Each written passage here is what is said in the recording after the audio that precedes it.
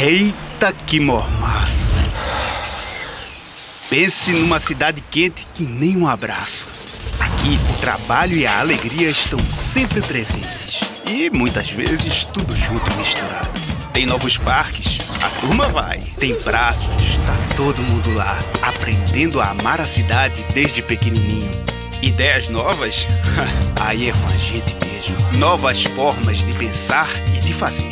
Novas conexões. Pra gente, só vale se for pra viver com intensidade. Estamos sempre pensando no próximo passo, fazendo a cidade que a gente quer pra ver ela crescer e florescer e curtir o nosso lugar, cuidando bem da cidade que também cuida da gente. No meio dessa quentura toda, o que faz o Recife ser tão especial é o nosso calor humano. Recife, 487 anos botando quente.